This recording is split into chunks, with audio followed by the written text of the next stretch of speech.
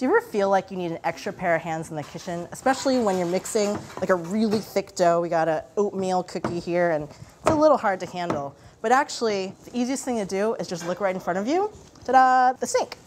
So you can use a wet washcloth for extra stability, put it in the bottom of your sink, and magically lower your workspace. You can put your bowl or whatever have you, maybe a salad spinner that's hard to hold, and anchor it against the sides and bottom of the sink, and you'll have a lot more control to stir and mix. So, if you think you have a problem and you think you tried everything but the kitchen sink, you might want to try that too.